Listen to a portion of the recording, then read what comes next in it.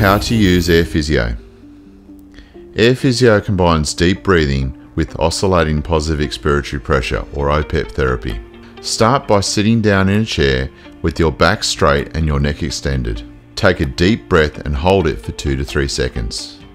Place the AirPhysio in your mouth, lift the clear cap toward the ceiling or sky, blow into the device for 3 to 5 seconds with a consistent and relaxed breathing. Do not try to blow too hard, trying to lift the ball bearing first breath. Use the device up to 5 minutes, 1 to 2 times per minute.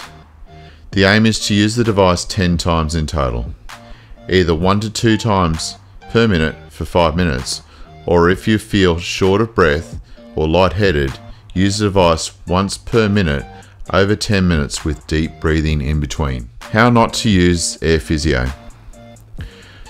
Do not try to blow too hard and fast. The aim is to have the ball bearing lift just off the cone, creating an oscillation. If you blow all of the air out of your lungs straight away or try and force the ball bearing too high to reach the top of the cap, then you could strain your lung muscles and the device won't work properly.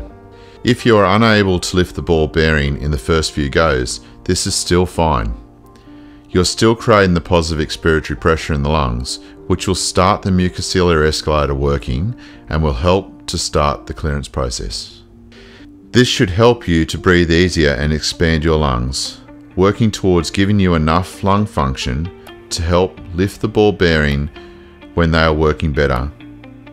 Persistence is the key.